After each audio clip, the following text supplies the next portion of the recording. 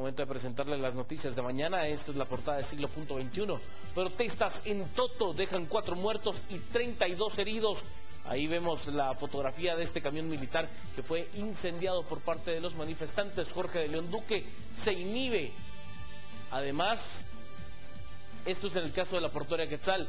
Pues inicia diligencia de antejuicio por garabatos Además, la vicepresidenta dijo ya saber de quiénes son las firmas que fueron presentadas en las enmiendas a la ley anticorrupción. Además, Municipal vence tres goles por dos a Deportivo Marquense, es sublíder del torneo. Lo más importante, lo que nos presenta siglo punto 21.